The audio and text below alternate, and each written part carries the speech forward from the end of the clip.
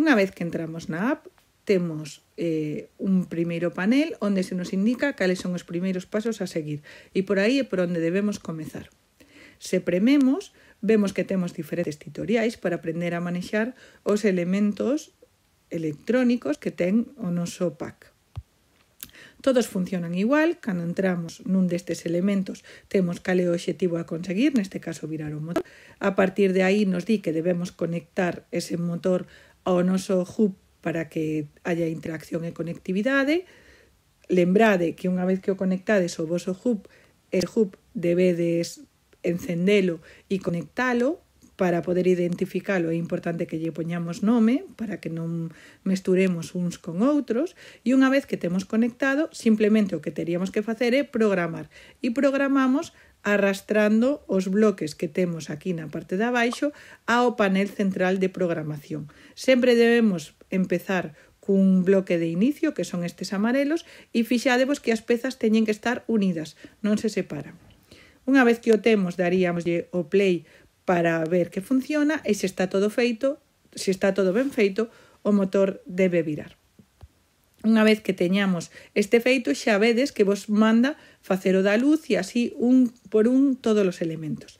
Estes serían os primeiros pasos que debemos dar na app.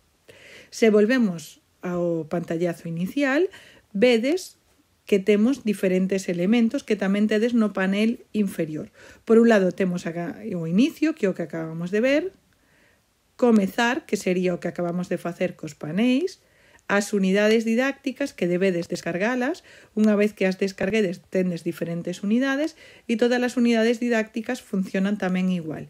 Unha vez dentro da unidade, tedes diferentes actividades e todas funcionan igual.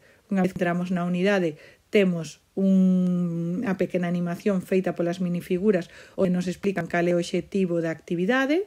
Despois temos un manual de instruccións paso a paso para montar o elemento que teñamos que montar e despois nos toca a parte de programación, o reto. Como sempre, conectaremos o noso hub e unha vez que o teñamos conectado, empezamos a programar seguindo as indicacións, empurrando os bloques o noso elemento. Probamos dando yo play e ao finalizar temos unha parte de modificación, onde neste eh, panel inferior nos aparecen novos bloques e se nos dá a oportunidade de modificar o programa que fixemos. Todos os programas que vayamos facendo vanse nos quedar guardados e os vamos ter no apartado que pon os meus proxectos e aí vades ter guardados todos os proxectos que fagades para poder volver a eles en días posteriores.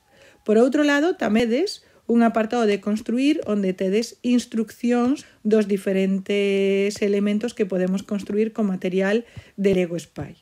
E por último, tedes un botón de axuda onde tedes tutoriais para entender como funcionan os bloques de icono, que serían os bloques que teñen dibuxo, e tamén como funcionan os bloques de palabra.